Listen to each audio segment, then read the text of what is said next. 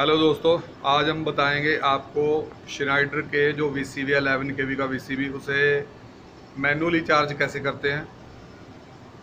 ये देखिए। शिनाइडर का ये वी सी वी है वैक्यूम सर्किट ब्रेकर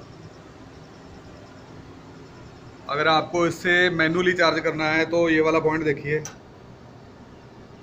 यहाँ पे हैंडल लगाएँगे।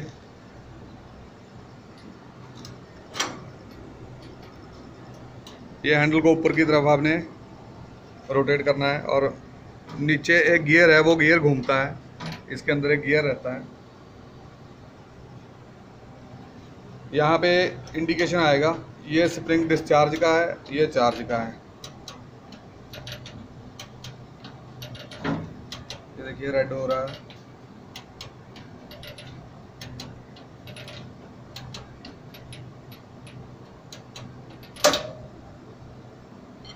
ये अभी फुल चार्ज है।